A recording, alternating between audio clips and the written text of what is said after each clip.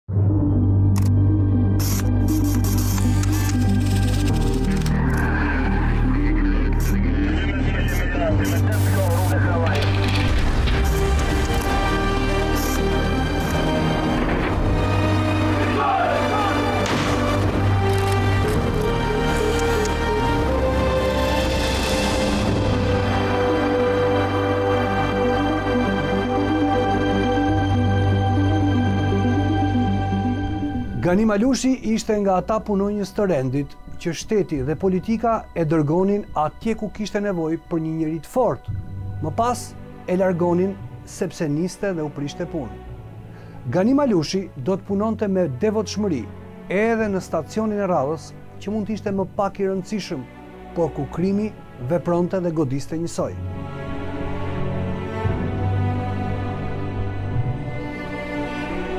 Rruga nëpër të cilën eci Gani Malushi në Policinë e Shtetit nuk qe asnjëherë e lehtë.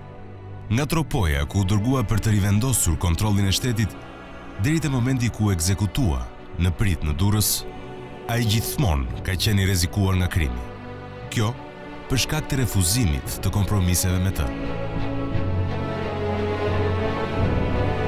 Gani Malushin e kam njohur herët që kur ka qenë shef komisariati në në Rinas, dhe bëhet fjalë për vite të vështira, domethënë, dhe për rendin dhe për krimin.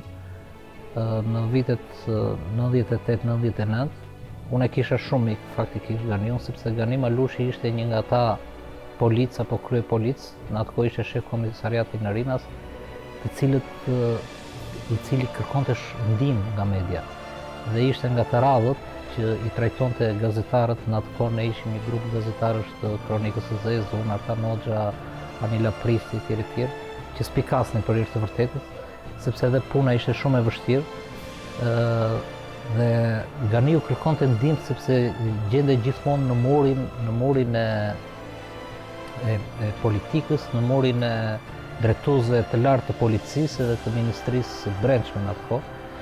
Dhe e, kjo ishte arsyeja për të cilën neve, domethënë, krijuam një, krijuam një miqësi, sepse ai sikur shfrehej te ne, e, Domethënë sa herë që gjendej Gani Malushi ka qenë dhe një njeri i cili nëse mund ta quaj me një shprehje figurative ishte gjithë kohës tel, tel i egër, sepse ishte njeri gjithmonë i shqetësuar dhe ngaqë ishte shumë i ndershëm edhe, edhe donte shumë profesionin dhe punën e tij,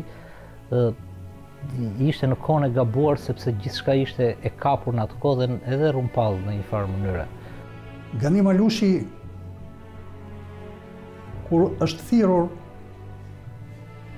se ishte nxjerrë në lirim në atë të quajtur reformë, se në polici kështu janë trajtuar, hiq kur ndrohet qeverisja pushteti, pastaj hidh në rrugë, pastaj merr prapë dhe kjo ka ndikuar negativisht mungesa e stabilitetit. politizimi i skajshëm, përdorimi, keqpërdorimi e me radhë. Mbaj mend që unë e kam këshilluar, i kam thënë mendohu një herë përpara se të japësh fjalë. Se kam qenë zëvendësministër, kam qenë atëherë, pyet familjen, pyet veten, bëhej fjalë për të vajtur në Tropojë. Dhe në Tropojë nuk guxonte asnjë oficer policie që të vinte. Nxjerrnin pretekste, argumente nga më të ndryshmet. Ky djalë nuk u tremb. Ky djalë nuk u tremb. Profesor, unë do të shkoj. Natyrisht i dhashë këshillat, i dhashë porositë, herë pas here kur zbriste kthehej në zyrën time, sepse këta më shumë shkonin raportonin tek ministri, Te drejtori i policisë nuk kishin lidhje direkte me funksionin që mbuloja unë, por më shumë ishin raportet profesionale dhe raportet me ish-profesorin e tyre dhe tek besimi që kishin. Marrëdhëniet e mia me Gani Malushin janë shumë interesante. Pse? Ai erdhi nga komisariati i Rinasit, ku bëhej trafiku i drogës, i femrave dhe i të gjitha të këqijave. Megjithatë, ai erdhi në Tropojë dhe nuk kishte shtëpi. Sepse ishte njeri shumë i ndershëm, prandaj dhe e hoqën. Dhe erdhi në Tropojë dhe bëri shumë përshtypje.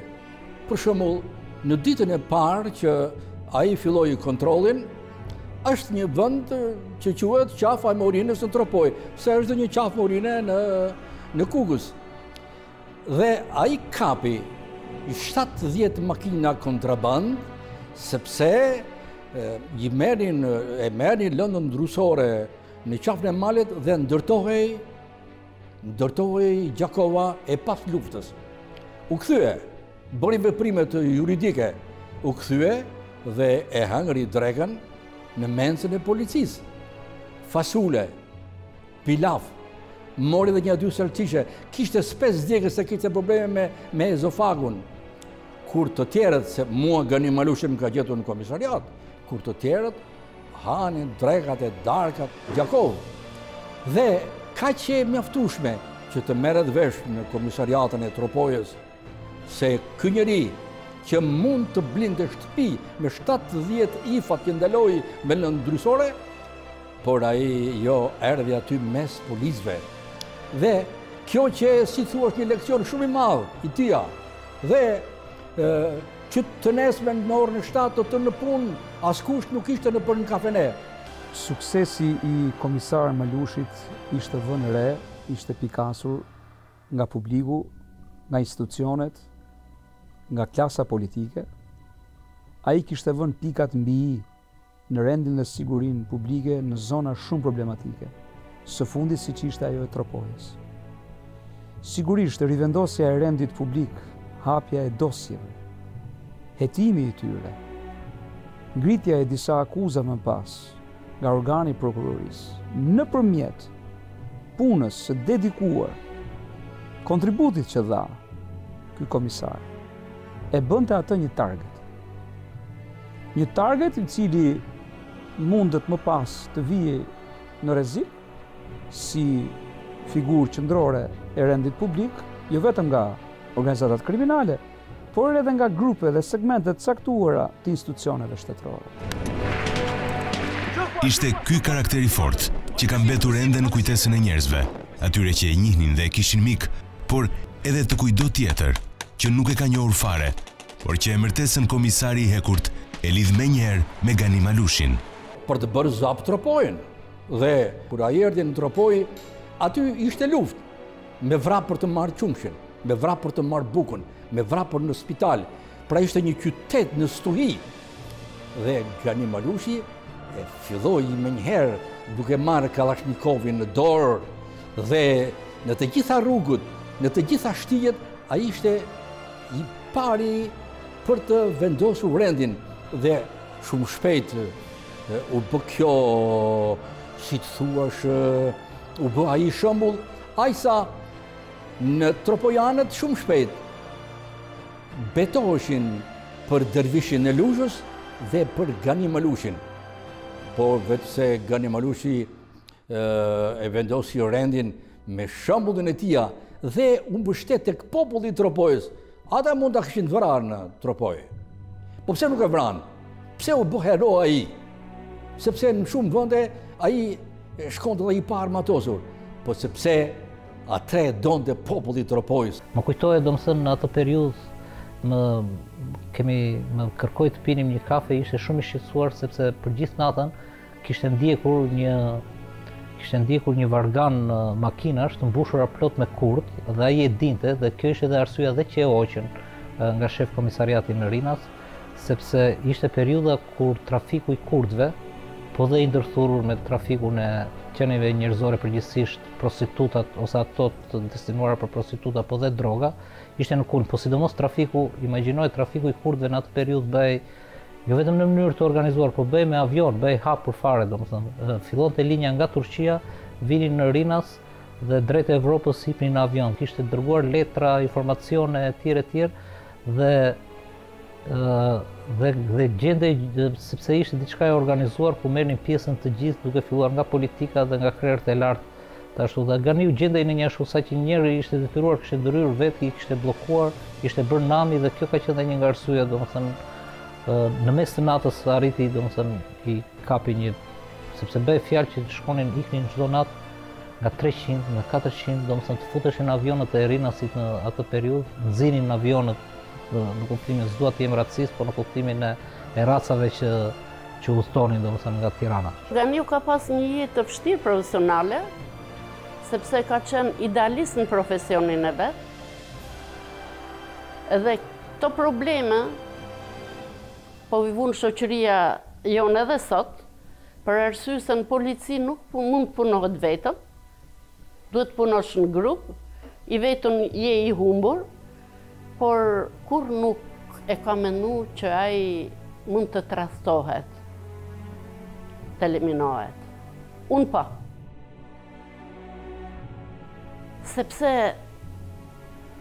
kam mendu se Ganiu pjesën më të madhe të jetës tij personale e ka bo larg familjes.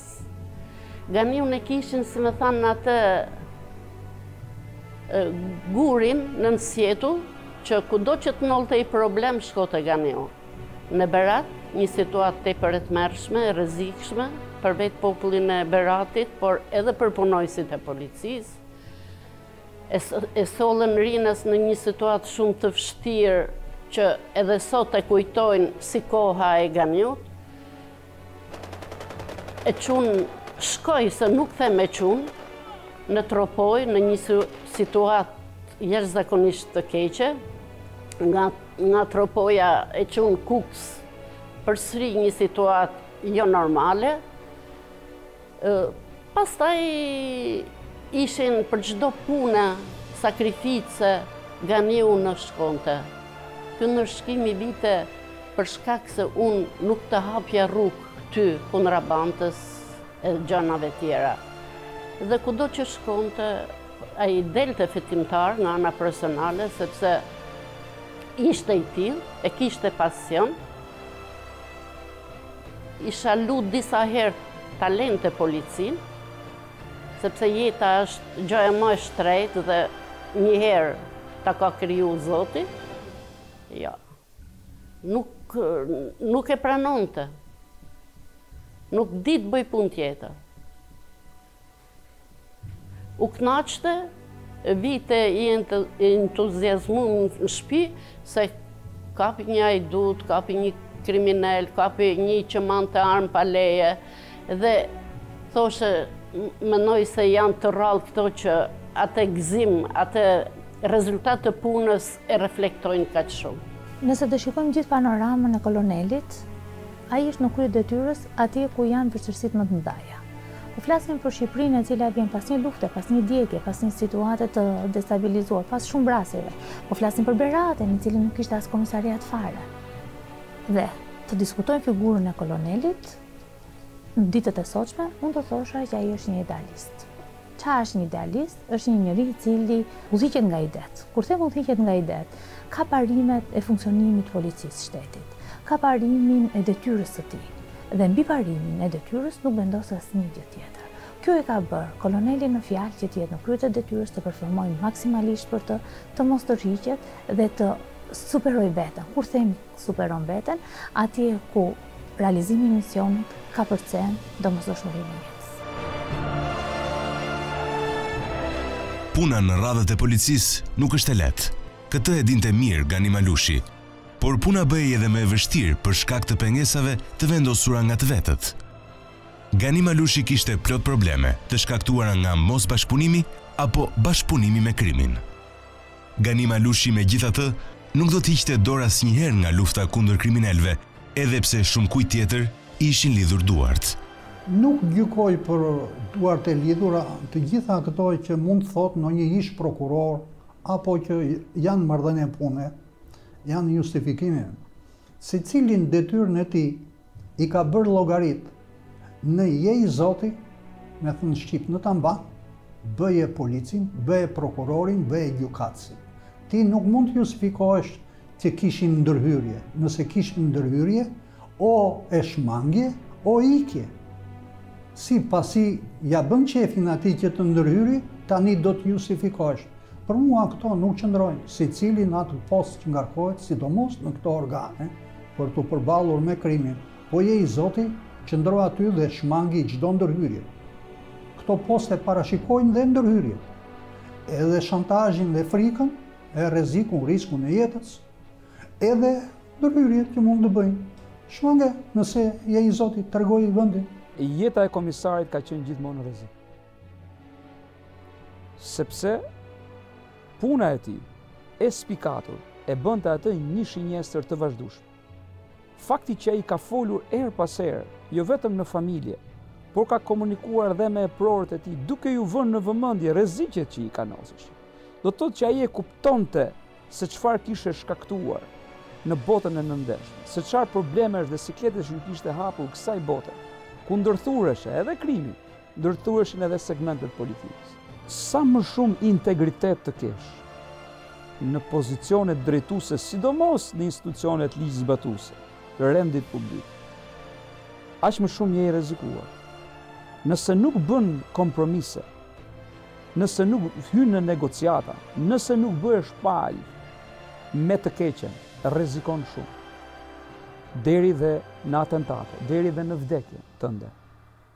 Ky është një risk që marrin përsipër të gjithë ata që sot punojnë në Policinë e Shtetit. Nuk dua të them që fakti që ne nuk kemi të vrarë do të thotë që këta janë të lidhur me krimin. Por janë shumë të kujdesshëm sepse historia e mëparshme ka treguar që personat me shumë integritet, me ndershmëri të lartë dhe me dedikim Ekzekutohen. Vdesin. I vrasin. Ju zënë pritë. Gani Malushi duhet ta ketë ndjerë se diçka nuk shkonte në ato ditë vere. Madje kërkonte të nisej me pushime, të merrte lejen e zakonshme të cilën nuk ia jepnin. Në mënyrë të çuditshme, i kërkohet të shkojë dhe të dorëzojë në Durrës kërkesën për leje të zakonshme. Diçka e pazakontë kjo për një komisar policie.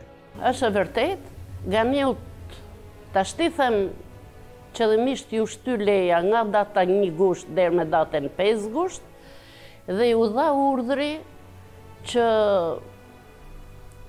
Ganiu të shkonte ta dorëzonte vetë letrën, shkresën e fillimit të lejes së zakonshme, që është diçka ma, ma absurdja që mund të nollte.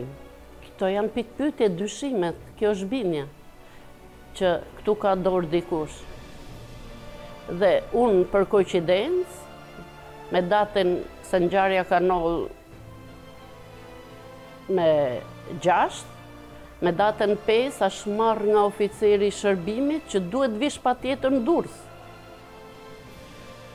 Dhe Ganiu u nevrikos, i thash, pse shqetësohesh për gjana t'vogla? Unë kam folur atë ditë me Ganiun. Unë kam qenë me pushime në Durrës dhe mbaj mend po pija kafe me një kolegun ton Ilir Kullën në diku në një në një pistë aty te kavalishenca e policisë së shtetit dhe unë e kam marrë ka qenë paradite. Paradite rreth orës 10 ndoshta ka qenë. E kam marrë në telefon dhe ishte shumë i nervozuar ë dhe e dinte që isha unë me pushim tha do vi tha të takoj tha në Durrës tha po jam tha shumë Në Krujë tha nuk kthehem më, tha. Nuk kthehem më në Krujë tha. Mirë po tha, shiko çfarë më bëjnë këta, më tha mua. E, e kupton ti tha çfarë më bëjnë këta, nuk më japin lejen, kështu. Kam kërkuar lejen vjetore dhe më bëjnë numra domethënë dhe më thonë që shko vetë ti në drejtori sepse Kruja varet nga drejtoria e Durrësit. Shko dorëzoje dorazi ti lejen. Kam thënë është Vrasës me pagesë, është vrasës që duhet të pastrojë rrugën krimit, i cili ky, kjo pjesë e krimit është e lidhur me pushtetin dhe sidomos me policinë. Me ngjarjen e Ganiut, unë jo se më erdhi e papritur, por problemi ishte se Situata në Fushë-Krujë ishte ndoshta vendi i punës që ishte ma me pak rrezikshmëri, sepse Ganiu ka punu në sektor shumë të vështirë, në rrethe shumë të vështira, Berati, Rinasi, Tropoja, Kukësi, dhe kemi jetu me frikën e humjes, se çdo familjar që ka. Bashkëshortët në polici e ka këtë ndjenjën e frikës, të pasigurisë kur bashkëshorti del nga dera e shpisë dhe s'dihet se si vjen. E unë këto i kam përjetu, pikërisht pse nolli në Durrës ngjarja ka ken e mirëorganizume nga mrena policisë, por me dorën e kriminelëve që kryejnë aktivitete të ndryshme në në Durrës. Ishte një fyerje për sepse imagjinoje tani, shiko për, për çfarë bëhet fjalë. Gani Malushi qetësoi Tropojën dhe dhe pati pati një një bekim do të thosha nga gjithë njerëzit se ranë në qetësi. Është tjetër gjë që nuk nuk u ndihmua dhe nuk u lejua që të hetojë për përgjegjësit e gjithë atij zinxhiri vrasës atje, po të paktën populli ra në qetësi në Tropojë. Në 2003 Gani Malushi është dekoruar nga presidenti Alfred Moisiu pikërisht për këtë kontribut. Dhe dhe çfarë ndodhi pas dekorimit, domethënë, ndodhi që Ganiun vazhdonin ta internonin në në zona ose problematike, nuk ishte problemi, s'kishte frikë ai nga zona problematike. Ai kishte ai ai ai vuante domethënë që pse nuk vlerësohej të kishte diçka më shumë në dorë që të të, të vendoste dhe të bëhej edhe si si pararojë se si bëhet policia. e shtetit. Ka i ka pranuar, ai kurrë nuk ka thënë jo, ka, ka shkuar në Librazhd, ka shkuar në, në këto komisariate dytësore, domethënë që se atëherë thuhej, më të që të shkosh aty, aty s'ka lek, aty s'ka, s'ka para, se ky ka qenë koncept. Kemi patur në atë periudhë edhe, edhe njerëz, oficerë policie, të cilët kanë ndjekur nga mbrapa me Kalashnikov në dorë drejtorin ministrin, sepse kanë paguar lekët dhe nuk e kanë çuar në Sarandë, sepse preferohej Saranda, preferohej ku kishte dogana, kuptohet.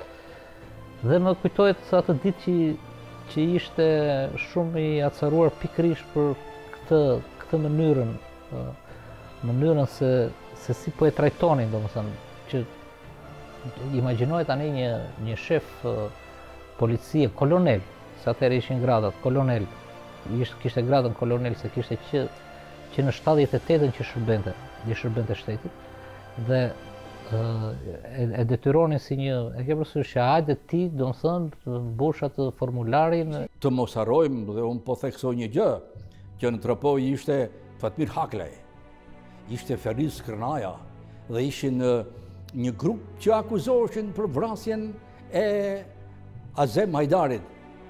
Por edhe pse kishte një lloj miti për Fatmir Haklajn, Gani Malushi kishte tre elementë që i mbante mbi kokë. Zotin, ajrin dhe ligjin. Në një mbledhje, ai e shpalli Fatmir Haklajn person në kërkim. Dhe këtë e morën vesh tropojanët. Në këtë kuptim, duke qenë zbatues i ligjit, ai ishte njeri që bëri emër në Tropojë, vendosi rendin, u larguan në mm, u larguan të inkriminuarit. Ai e kishte ishte e kishte problem të tijin. Ai e donte qytetin pa kriminelë. Ai më thoshte gjithnjë në takime, Nata është si të thua është, është shpela e kriminelëve dhe ai tërë natën ishte në kërkim, nuk flinde, në orën tret natës binte në gjumë. Kolonel ishte ushtarak dhe ushtaraku në një pjesë të mirë të jetës tij mësohet të sillet si ushtar dhe jo si individ dhe qytetar. Ka diferencë njëra me tjetrën po, njëra udhëhiqet nga misioni, Tjetra udhëhiqet nga rahatia e konformitetit. Në fakt ne po flasim një individ i cili udhëhiqet nga misioni dhe misionin e ka bërë pjesë të përditshmes së tij. Ajo ditë gushti e vitit dy mijë e tre do të rezultonte fatale për komisarin e hekurt. Ndaj tij dhe shoferit Gjovalin Ndreu qëllohet me shumë plumba përpara Drejtorisë së Policisë së Durrësit. Agim Pepa, autor i ngjarjes që do të vetëdorëzohej kohë më pas, deklaronte se shënjestra e tij ishte shoferi i komisarit për një çështje hakmarrjeje.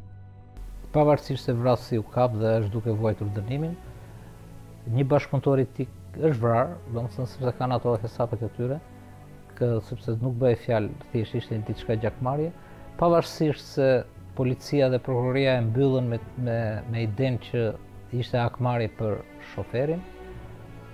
ë uh, Pavarësisht se u, u krijua një që nuk u vërtetua asnjëherë se unë e kam ndjekur si çështje sikur Pepa i thoshte Ganiut që hiqe atë shofer se unë kam personale dhe dhe unë e kam diskutuar këtë dhe madje unë i kam thënë dëgjo, por në qoftë se është puna kështu transferoje diku tjetër dhe është ashtu dhe ai më ka thënë që njëra ai nuk më ka thënë mua, Kështu thotë.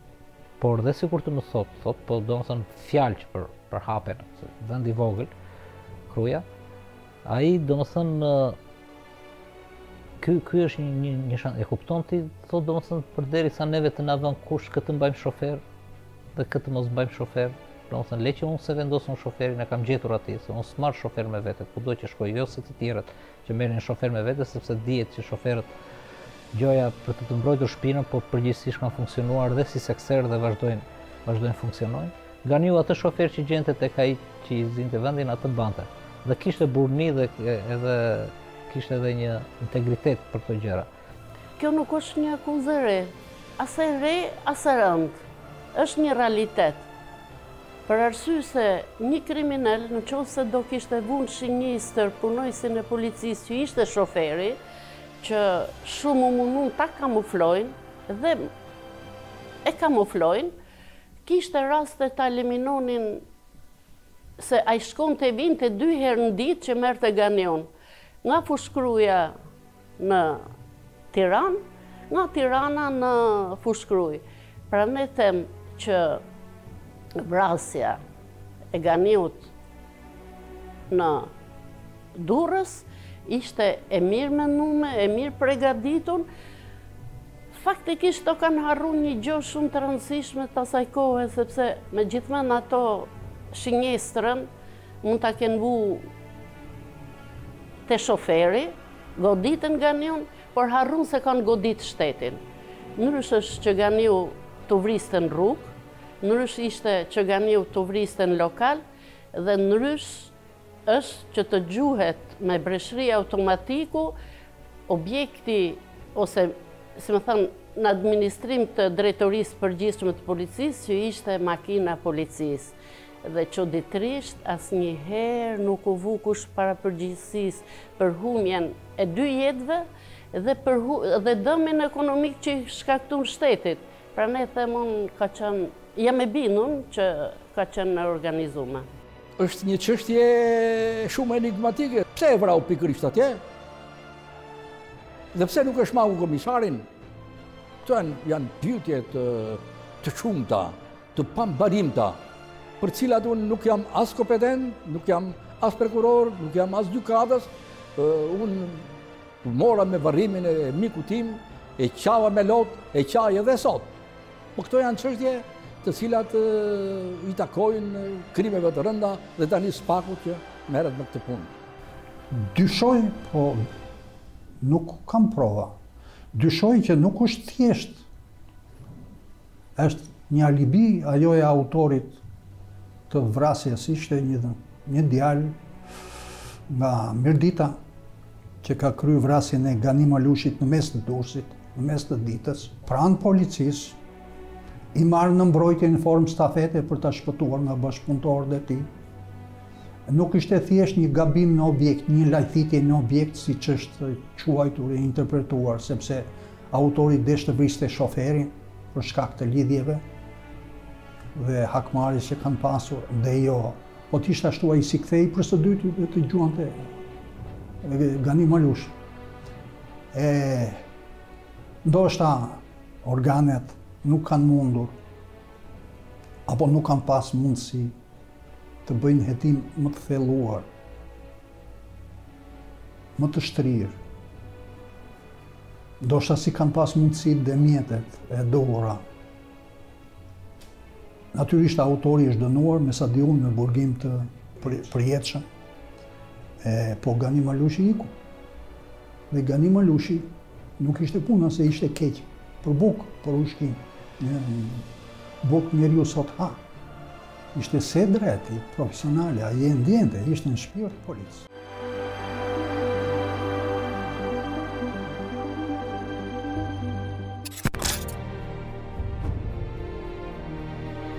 Kanë lanë shumë detaje pa... pa zbardh. Dhe detaji ma i madhë ka qënë që Ganiu ka pas një plumb në kokë. Dhe kjo është, po them unë sot për herë të parë, dhe nuk është zbardh asnjëherë, pra dora kriminale e ka dasht eliminim qind për qind Ganin. Partia Demokratike i bën thirrje Prokurorit të Përgjithshëm të ushtrojë të gjitha kompetencat për të ndërprerë procesin gjyqësor farsë që po zhvillohet dhe të hetojë dhe të vendosë përpara ligjit të gjithë pushtetarët që organizuan dhe porositën ekzekutimin e kolonel Gani Malushit dhe të gjithë atyre që për tetë muaj me radhë mbrojtën vrasësin serial Agim Pepa.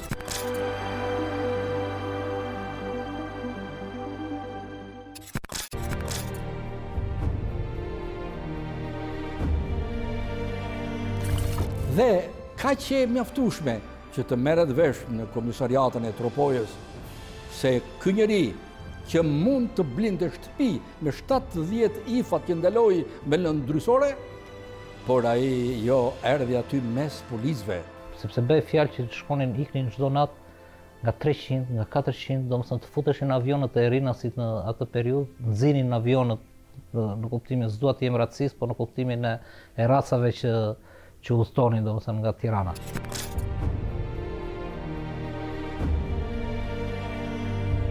Mënyra se si u godit Gani Malushi të lë të dyshosh se përdorimi i hakmarrjes ndaj shoferit ishte vetëm një alibi. Kishte shumë mënyra për të marrë hak ndaj shoferit. Qoftë edhe duke e vrarë atë në një tjetër vend. Vetëm, pa marrë përsipër rrezikun që të eleminohej edhe drejtuesi i lartë i Policisë së Shtetit. Në qoftë se i kthehemi asaj situate, ngjarja ka ndodhur me datën shtatë gusht dhe në shtatë orë ka kenë e mbyllun. Nuk ka Në asnjë vend të botës që një dosje me një bujë kaq të madhe të mbyllet me me një shpejtësi të rrufeshme. Ganiu thoshte një diçka të tillë, domethënë që nuk e harroj kurrë. Këta na duan për heronj, thoshte, nuk na duan për punë. Dhe siç ndodhi, domethënë, dhe unë e di shumë mirë që në qoftë se do më ndodh, thoshte, ndonjë ndonjë diçka gjatë punës, gjatë detyrës, mua do më do më shpallin hero dhe do më bëjnë Të gjitha elozhet, thoshte, por është për të ardhur keq, thoshte, sepse nuk më lënë të punoj tani që jam gjallë, thoshte, pik ka qenë kjo periudhë që ai atëherë u bë i famshëm dhe në radhët e policisë, sepse ka patur një debat shumë të ashpër me ministrin e kohës, pikërisht për këtë punë, sepse u kuptua që e hoqën nga Rinasi, duhet kuptojmë atëherë që Rinasi quhej si hambar prodhimi lekësh, sepse Ka qenë një periudhë që policia e shtetit kishte akses dhe kontrollonte, nuk është si sot, domethënë që kontrollonte dhe doganat dhe pikat kufitare dhe rrugët, në, kishte, kishte tagër shumë të madh, domethënë, shumë të... Dhe ishte periudha që vendet bliheshin, ose duhet të ishe t'ju shërbeje, domethënë, në njërën, në, për të mos ju prishur punë, Ose, ose domethënë e blinte tjetri, e blinte tjetri vendin. Dhe Ganiu e ka patur gjithmonë këtë problemin, domethënë që politika, thoshte, ose edhe qeveria, ose deputetët, sidomos që kanë qenë në atë periudhë më të fuqishëm, më shumë ndikohen, thoshin, dhe dëgjojnë krimin, krimin e organizuar, se sa ne, ne që jemi për t'i luftuar ata. Dhe kjo ka qenë dhe, dhe arsyeja që Ganiu nga një anë nuk e hiqnin dot fare me atë tip që kishte dhe me atë ndershmëri dhe atëherë i thoshin do shkosh këtu dhe Ganiu gjithmonë ka shkuar ka shkuar pikërisht në zona të nxehta siç e çuan në Tropojë më herët kishte qenë në Berat domethënë bashkë me dëshmorin tjetër Ngresin që ju ka që ka patur dhe përplasje me armë domethënë kur kanë qenë bashkë Kuçovë në drejtori të Beratit dhe shef atje bashkë me Arben Frashërin, që të cilin së fundi e flakën për një apartament. Dhe ky ishte Ganiu, domethënë. Kur ndodh një ngjarje, njeriu në moment mund ta mendojë në mënyra e forma nga më të ndryshme. Meqenëse shoferi kishte pas probleme, jo ky si individ, po familja, u munduan që ta kamuflonin ngjarjen si hakmarrje ndaj shoferit. Shoferi, për ironi të fatit, ka qenë punonjës i policisë, ka pas një detyrë ndoshta më të rëndësishme se sa kjo e shoferit Ganiut, se ka qenë roje në objektet e rëndësisë së veçantë, prokurori, gjykatë, shkolla. Pra,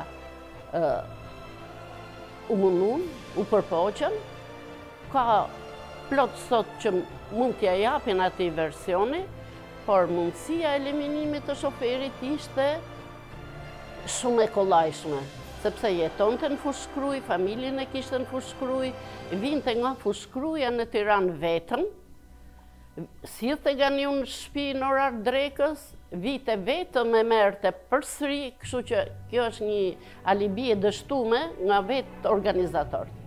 Pastaj e çuan në Tropojë dhe në Tropojë pikërisht kur filloi kur filloi të punonte, sepse Tropoja unë e kam ndjekur shumë Tropojën në karrierën time.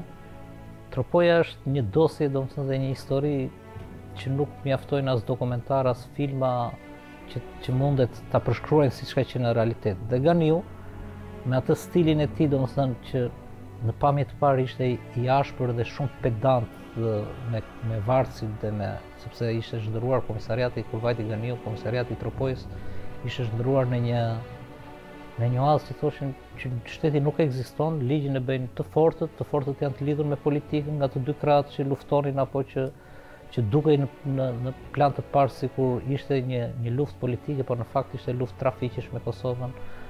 Ganiu që ditën e parë që ka shkuar dhe duke bërë një kontroll, sepse ishte njeri shumë energjik, Ishte, kishte një adrenalinë të paparë për punën dhe që ditën e parë ai kapi kapi trafik armësh, pistoleta, domethënë kapi pistoleta rreth 20 pistoleta diku në Dragobi, domethënë të cilat më tha mua të gjitha ato do vinin për për t'u përdorur në Tiranë thoshte. E ke parasysh ishin ato vinin kish ishte një linjë nga Mali i Zi, të cilën ky e bllokoi. Është brezi i fundit ndoshta i ushtarakëve të sistemit. Dhe kur themi ushtarakëve të sistemit, më duhet të sjell në kujtesë faktin që të tërë ne kemi qenë të brymosur me disa ideale. Edhe një pjesë e mirë e jona, e jona i referohem atyre të cilët janë formuar profesionalisht para viteve 90, një pjesë e tyre i morën këto ideale edhe me ndërrimin e sistemeve nuk i tjetërsuan ato. Po vazhduan t'i mbanin dhe t'i përforconin. Kështu që Po, ky është një njeri idealist, sistemi në të cilin u rrit edhe u edukua ose në të cilin ai mori profesionin e tij, ia forcoi këto ideale. Dhe, tashmë, ai nuk mund të heqë dot më dorë. Ato janë bërë, ato janë bërë pjesë natyrore e tij. Ndjekja e idesë, realizimi i idesë, sakrifikimi, organizimi i punëve, pikërisht për të përmbushur këtë mision, nuk, nuk u shkëput në asnjë ditë të jetës së tij. Pati konflikte Por ai i mposhti me punën e tija. Pse? Gjë e parë që bëri është se ai ngriti agjenturën, se nuk ishte SHGB në komisariat, ngriti agjenturën dhe i erdhën lajmet se të përgjojnë ty Gani Malushi dhe bëhet trafiku i karburantit në Qafën e Prushit. Dhe ai një natë u zhduk. U ngrita në mëngjes se e pinim kafe bashkë, trokita nuk ishte. E pyeta shoferin Kovaçicën, ku është komisari? Më thotë mua është në Qafën e Prushit. Çfarë kishte bërë? Kishte marrë një motor nëpër baltë, nëpër nëpër nëpër nëpër llusra dhe mbërriti përpara trafikantëve të të të, të karburantit dhe i izoloi në Qafën e Prushit. Dhe ky model, ky shembull, e bëri atë që shumë shpejt në Tropojë të vendoset rendi. Po, vetëm kishte një gjë, ai ishte simboli i luftës për vendosjen e rendit, po dhe ishte dhe trim i madh. Pikërisht në këtë periudhë, Gani Malushi, domethënë, sepse e kishte imazhin, e kishte si ai polic, si, si një kryepolic i, i dhunshëm dhe e, i frikshëm, por në fakt, në fakt në thelb, Gani, Gani Malushi ishte pikërisht ai lloj polici që i mungon dhe sot policisë së shtetit ishte një hetues, ishte një investigues dhe kopsiste dosje. Shikoni juve çfarë ndodh sot me komisarët, me komisarët e policisë sot. Duhet të paguash para, ta kesh mirë me ministrin, ta kesh mirë me kryeministrin. Bile me zëvendësministrin është goditur nga me, me karrige. E kanë hequr nga Rinasi se ai nuk e dëgjoi ministrin e brendshëm. Sepse nuk lejonte të shkelej ligji, të kishte trafiqe. Dhe në, në këtë kuptim, ai do të mbetet, do të mbetet për të gjitha brezat një, një, një njeri që frymëzonte në radhë të parë me shembullin e tija. Ai nuk bindej, ai donte vetëm drejtësi, ai ishte dhe njeri me botë shumë të madhe shpirtërore. Ishim po rrinim përpara komisariatit. Patrulla sjell aty babanë e Jaho Salihut. Ishte armë, makina e tij e mbushur me armë. Gani Malushi u irritua. I tha, çka këto armë? A e di që ne po vendosim ligjin këtu? Babai Jaho Salihut i tha, ti e di që djali im akuzohet për vrasjen e Azem Hajdarit. Prandaj i kam armët. Në këtë kohë, në Cërnicë përballë, U dëgjuan ca curle e daulle. Mirëpo, kishte kohë që nuk kishte, nuk kishte dasëm, nuk kishte gëzime në Tropojë. Dhe më tha mua dhe dy-tre të tjerëve, e shikon, tha, sa e kam pritur këtë ditë që të ketë dasëm, të të ketë muzikë në Tropojë. Dhe u ngrit. Dhe tha të bëhen veprimet për baban e Jaho Salihut, Dhe nuk e ndaloi. Pasi kishte konsumuar shumë probleme lidhur me situatën operative, me ngjarjet kriminale njëra pas tjetrës, me vrasjet midis dy fiseve në Tropojë, bile dhe brenda organit, ai ishte lodhur duke raportuar tek eprorët e tij direkt dhe një ditë, mbas dite, vjen në zyrë duke m'i hedhur të gjitha çfarë kishte me një dozë pesimizmi sepse nuk gjente mbështetje. E, më shumë difektet në fakt çalonin te udhëheqja e prokurorisë sa kishte raste që dhe Në një ngjarje kriminale të rëndë, vrasje nuk, nuk kryeshin veprimin, po kryeshin pas disa ditësh. Sepse kishin dalë institucionet jashtë përgjegjësive të tyre. E këshillova që të gjitha këto që më the, m'i shkruaj. Sepse pa i shkruar në veprimtarinë, në punën e policisë dhe drejtësisë me fjalë nuk, nuk rëtë. Dhe prita që t'i shkruante. Nuk e di, i ka shkruar dhe kujt ia ka dorëzuar, ndoshta duhet bërë një kontroll në arkiv, sepse kanë ikur 20 vjet,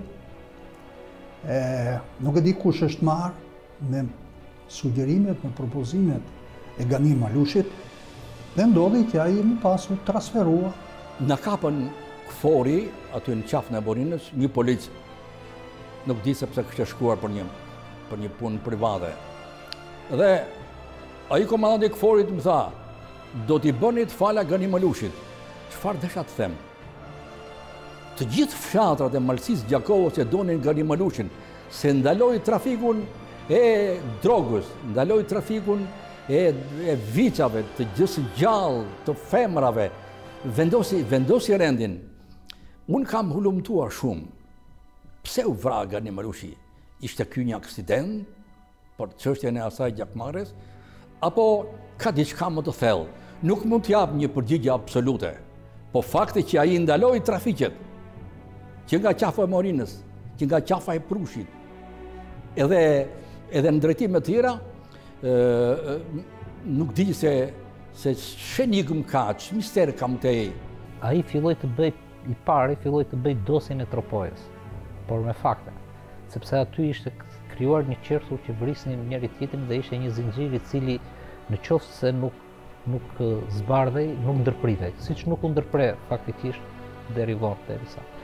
Dhe pasi pasi e krijoi këtë dosje, Ganiu u gjend papritur, u gjend papritur tek tek prokuroria, tek drejt tek shefat e tij dhe te politika u gjend papritur i sulmuar, domethënë, ç'ke ti që e ngacmon këtë këtë histori. Ai bëri punën e tij dhe në qoftë se do ishte dëgjuar Gani Malushi, në qoftë se do ishte marrë në konsideratë ajo dosje që krijoi për Për zinxhirin e vrasjeve në Tropojë Gani Malushi, do ishin shpëtuar, nuk është puna vetëm punë e tij, por do ishin shpëtuar dhe dhjetëra jetë njerëzish të tjerë më pas. Nuk donin që dosja e madhe e vrasjeve të Tropojës apo dosje të tjera të bujshme të cilat u rihapën dhe u hetuan nga komisar Malushi të dilnin në dritë. Shoferin e Gani Malushit këta mund ta vrisnin se nuk e mbante gjithmonë me vete Ganiu, nuk e kishte shok. Vetëm kur udhëtonte për punë, nuk e kishte shok, domethënë dhe që nuk e kishte njeri që nuk ndahej, domethënë nuk dhe ata mund ta vrisnin ku të donin dhe kur të donin. Dhe nuk nuk kishte pse ta vrisnin në pikërisht kur ishte me me shefin e tij, kur dije që ishte me uniformë, Ishte një kryepolic, një emër shumë i njohur, dhe fiks përballë komisariatit bëri dhe gjithë atë rrugë, fiks përballë drejtori, komisariatit drejtorisë së policisë së Durrësit. Kështu që kjo ka ngelur për, për mendimin tim ka ngelur mister. Për ironi të fatit unë nuk jam marrë Ose s'kam kontaktu fare prokuroria si familjare dhe insistimi im që kam kërku takim me prokurorin, ish prokurorin e përgjithshëm Theodhori Sollakun, Si duket i vuni përpara nji përgjegjësie morale që kanë ardhë dhjetë vetë për çudi, që është e kundraligjshme në familjen time me marrë dëshminë me prokuroren Donika Prenga që sot është e skualifikume që gjithsesi pikëpyetja qëndron aty.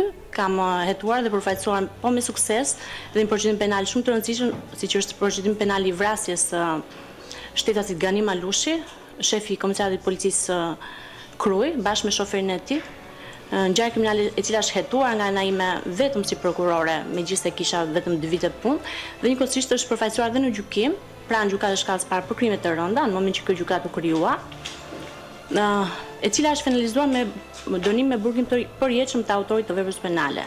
Por unë kam një merak, a është bërë një hetim i gjithanshëm dhe shterues Mbi rrethanat e vrasjes së komisarit janë katër elementë të veprës penale të cilat çdo prokuror i merr dhe i shikon, i vendos në një situatë të tillë për t'i përshkruar dhe për t'i plotësuar me prova.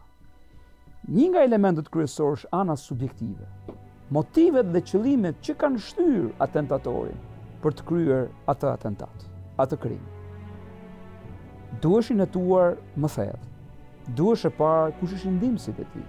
Duheshin para qëndronte vërtet gjakmarrja që ai kishte pasur me shoferin e komisarit. Duheshe hetuar pse u zgjodh pikërisht Momenti kur edhe komisari ishte në makinë. Shumë atentatorë të cilët e kanë, sidomos për gjakmarrje, e kanë të në objektiv vetëm prenë e tyre, nuk përziejnë në këto atentate njerëz të tjerë, sepse hyjnë dy herë në gjak. Bashkëshortja e të ndjerit Gani Malushi edhe sot ka dyshime të mëdha së pari për shkak të mënyrës së hetimit, por më pas edhe të zhvillimit të procesit gjyqësor. Kanë lanë shumë detaje pa pa zbardh. Dhe detaji ma i madh ka qenë që Ganiu ka pas një plumb në kokë. Dhe kjo është po them unë sot për herë të parë dhe nuk është zbardh asnjëherë. Pra dora kriminale e ka dashë Të eliminum qind për qind Gani. Edhe pas mbarimit të operacionit, gjendja e zotit Malushi mbetet serioze, për shkak të dëmtimeve të disa organeve. Është shumë serioz, megjithëse këto funksionet jetësore të tija janë të stabilizuara aktualisht. Por prapë se prapë duhet kohë për të folur më ekzaktësisht. Kjo situatë është aktualisht në orën njëzet e tridhjetë, ose për herë të fundit që e kemi parë. Kemi shpresa që të përmirësohet, pavarësisht nga gjendja e tij e rëndë. Nuk e thua dot, por Ganiu nuk e donin. Ganiu dinte shumë. Ganiu kishte se ishte edhe njeri që ruante ruante materiale dhe dhe ato punët edhe kur nuk ja pranonin domethënë dhe kur ja bllokonin ai gjithsesi i ruante se thoshte ai kishte shumë shpresë thoshte një ditë ky vend do bëhet edhe do të gjithçka domethënë do, do zbardhet dhe po s'u zbardh po s'u, po s'u vendos drejtësia për disa gjëra kishte një ishte një, një tip që Gati e besonte që politika dhe zyrtarët e lartë të shtetit të korruptuar, domethënë, nuk pysnin fare, domethënë, dhe përpara parasë, përpara parasë, thoshte, ne, ne mund të na çojnë në, për koka turku kur të duash. E kishte gjithmonë këtë, këtë merak. Përgjithsisht dhe Ganiu ishte nga ata, domethënë, që më shumë ruante njerëzit që punonte, Ka qenë shumë i kujdesshëm, Ganiut vetë nuk i është vrarë asnjë polic nëpër aksione, që ka bërë aksione të guximshme etj etj. Dhe i ndodhi, i ndodhi kjo që i ndodhi, prap dëshmor t'atdheut e bënë një vit e gjysëm më mbrapa dhe pas 10 vjetësh pastaj e varrosën tek varrezat e dëshmorëve. Ky ishte Gani Malushi. Ekspertiza nuk e ka reflektu fare, Por unë, në momentin që marr lajmin që Ganiu është plagos në Durrës, ka kenë rreth orës 10, 10 e pak, jam lidh me drejtorinë e përgjithshme të policisë, po tha, është e vërtetë si ngjarje, po ka shku helikopteri ta marri, dhe unë kam marrë taksi dhe kam shku te spitali ushtarak, që për fat të mirë E prita, s'kishte ardhë, dhe kur i kam fërku ballin, ai kishte nji maniko të bardhë në pjesën e sipërme të ballit, dhe njëri nga ato shoqërusit më tha mos u shqetëso, është gërvisht pak. Dhe mas shumë kohësh, prokuroria më ka pyt, më ka thanë e din ti që Ganiu ka pasi plumb në kokë, po i kam thanë. Ne jemi të përgatitur që në luftën kundër veprimtarisë së paligjshme dhe kriminale do ketë edhe raste të kësaj natyre. Ajo që çfarë është e rëndësishme lidhet me faktin që këtu i gjithë ekipi mjekësor është tërësisht i angazhuar për të shpëtuar jetën e shefit të komisariatit. ashtu si kundër strukturat e tjera po punojnë për të kapur autorët e kësaj vepre dhe për t'i ndëshkuar ata ligjërisht. Ka informacion? Është në një gjendje vërtet shumë të rëndë, por mjekët këtu kanë bërë maksimumin dhe të shpresojmë në mrekullinë e duarve të këtyre mjekëve. Zoti Rama, ka informacion lidhur me autorët? Po punohet, është identifikuar autori dhe arsyeja e veprës së kryer. Në qoftë se del një element i ri, domethënë nuk e di, unë e kam dëgjuar disa herë bashkëshorten që thotë që është që e mbron edhe ajo këtë këtë tezë që nuk është nuk është kaq e thjeshtë vrasja e Gani Malushit.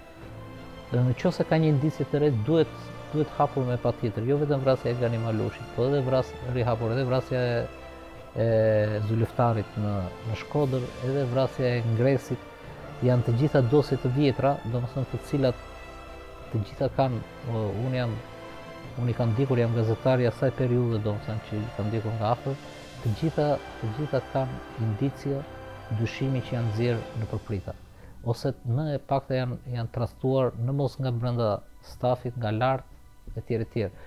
Nuk kishte, Nuk kishte asnjë shans se nga ta dinte Pepa, Agim Pepa, domethënë që Gani Malushi po shkonte pikërisht për të marrë lejen për të firmosur lejen domethënë në drejtorinë e policisë tash e ka ditur vetëm nga njerëz po nisen nga njerëz aty në në Krujë ose ata që te Durrësi i kishin thënë hajde këtu patjetër të marrësh lejen, se, sepse duhej ai formalitet të vinte ai kolonel aty dhe të paraqitej që po, Do ta marrësh? Po, ok, fillon leja, siç ne dimë si funksionojnë edhe si si është normal. Dhe prandaj ishte i nervozuar, se atij në fakt në moment nuk i vajti mendja që mund të ishte kurth, sepse ishte shumë e trashë.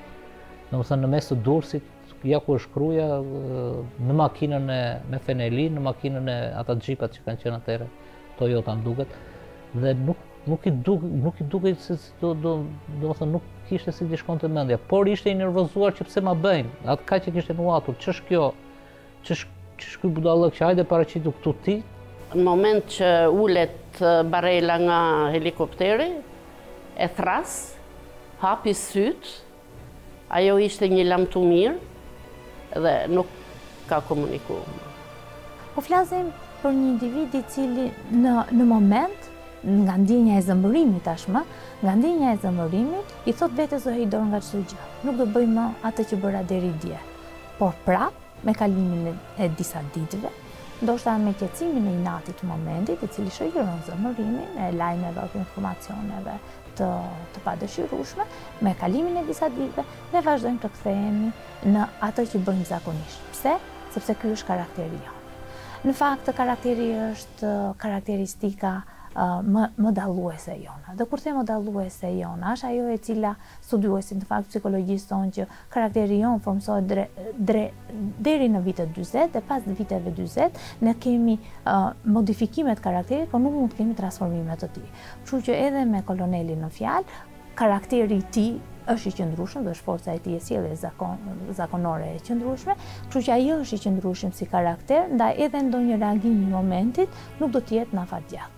Edhe ndonjë transformim nuk do të jetë rrënjësor, do të jetë vetëm një përshtatje apo adoptim i momentit, por nuk do të ndikojë dhe nuk do të tjetërsojë mënyrën e vet profesionale të të vepruarit. Zhvillimet e mëpasshme në lidhje me Agim Pepën, vrasësin e Gani Malushit, të bëjnë të dyshosh se vërtet gjithçka ka qenë e organizuar. Kurse sa i përket çështja e Gani Malushit, ajo ka qenë çështje pa dashje, ka kap këto mjem kot.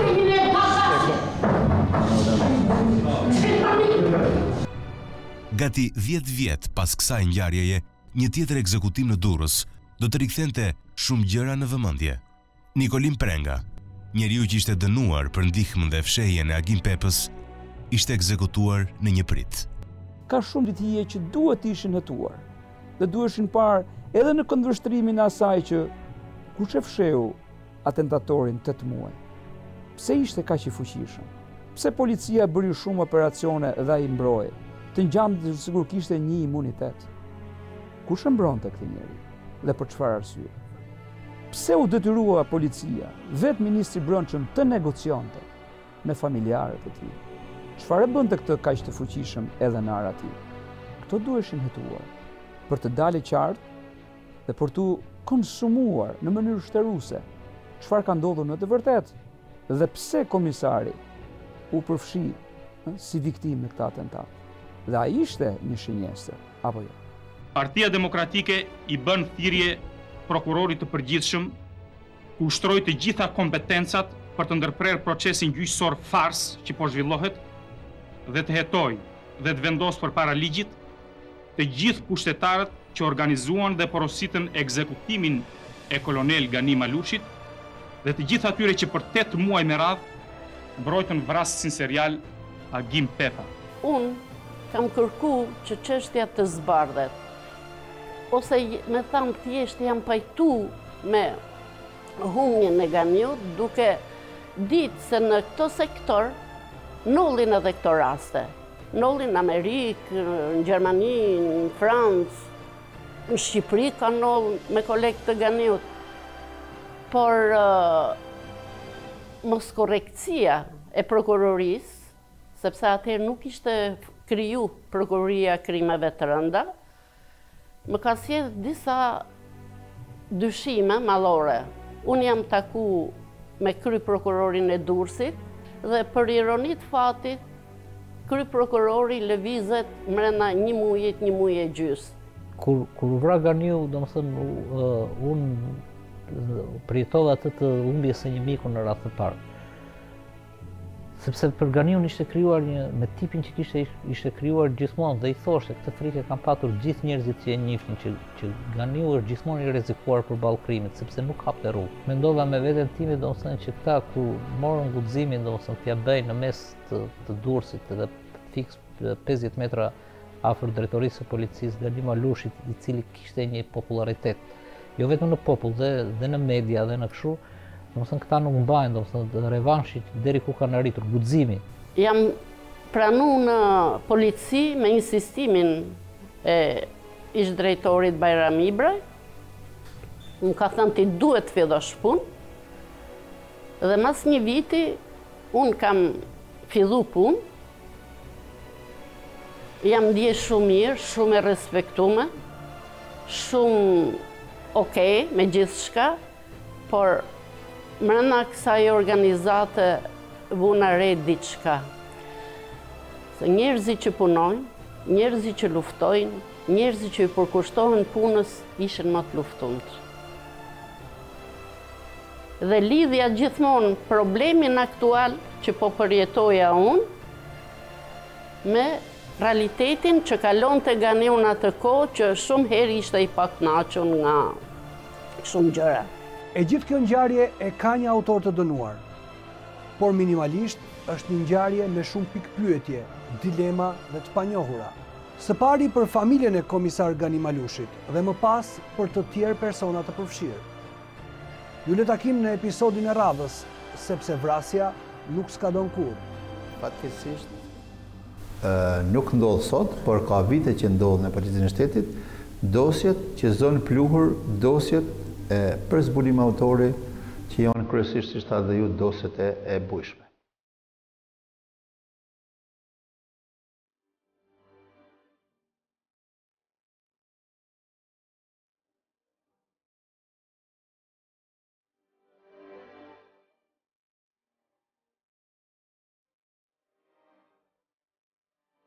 sa më i fortë të jetë institucioni, aq më i besueshëm është.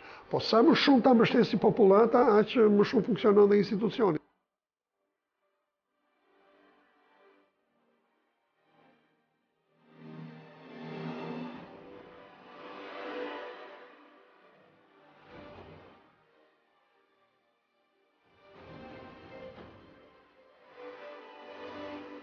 Pra në gra dhe në fëmijë me kanun nuk qëllohet.